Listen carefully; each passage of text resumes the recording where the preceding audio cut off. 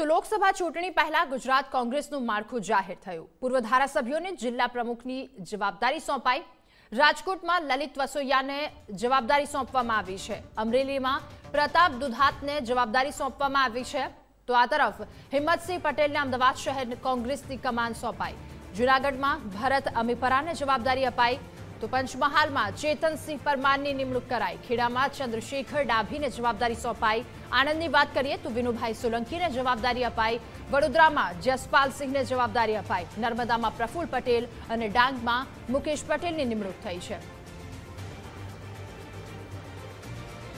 તો અલગ અલગ જગ્યાએ લોકસભાની ચૂંટણી હવે નજીક છે, ત્યારે જવાબદારી સોંપવામાં આવી છે કોંગ્રેસ દ્વારા. કોંગ્રેસનું માળખું જાહેર કરવામાં આવ્યું.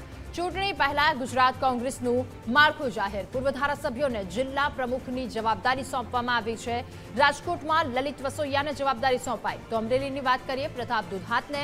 હિંમતસિંહ પટેલને જવાબદારી સોંપાઈ છે અમદાવાદ શહેર. તો જૂનાગઢમાં ભરત અમીપરાને. પંચમહાલમાં ચેતનસિંહ પરમારની નિમણૂક કરાઈ.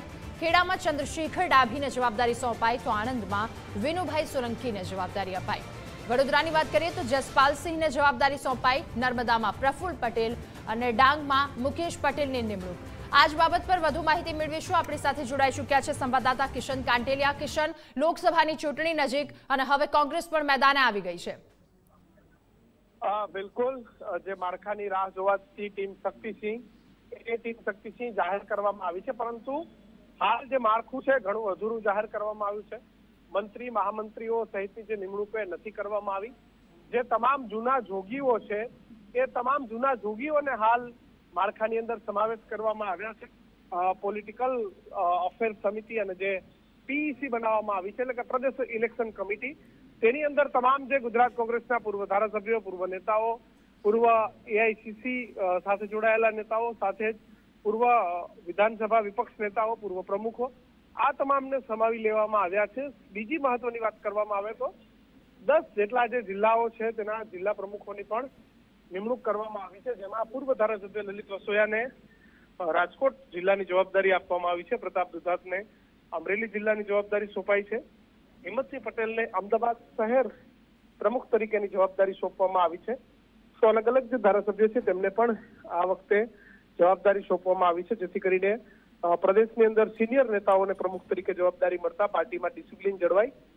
એ પણ ઘણું મહત્વનું છે. સાથે તમામ સિનિયર નેતાઓ એટલે અમિત ચાવડા, અર્જુન મોઢવાડિયા, ભરતસિંહ સોલંકી, સિદ્ધાર્થ પટેલ અમી યાજ્ઞિક, તમામ તમામ જે સિનિયર નેતાઓ છે તેમને પીઈસી અને જે પોલિટિકલ અફેર્સ કમિટી છે તેમાં નિમણૂકો આપવામાં આવી છે. આણંદની અંદર વિનુ સોલંકી ને જિલ્લા કોંગ્રેસની જવાબદારી સોંપાઈ છે. વડોદરામાં જયપાલસિંહ ને જિલ્લા પ્રમુખની જવાબદારી છે. દસ જેટલા જિલ્લાઓ છે તેઓના નામ અત્યારે કોંગ્રેસ દ્વારા ડિક્લેર કરવામાં આવ્યા છે. સાથે જ જે તમામ જૂના જોગીઓ છે જે જૂના ચહેરાઓ છે એ તમામને પીઈસી અને પોલિટિકલ અફેર્સ કમિટીમાં સમાવવાનો જે પ્રયત્ન છે કોંગ્રેસે કર્યો છે જેથી કરીને આવનારું જે લિસ્ટ આવે જેમાં ખરેખર સંગઠનમાં કામ કરે મંત્રી મહામંત્રી તો તેની અંદર નવા ચહેરાઓને આપવામાં આવે તેવું દેખાઈ રહ્યું છે. રાધા.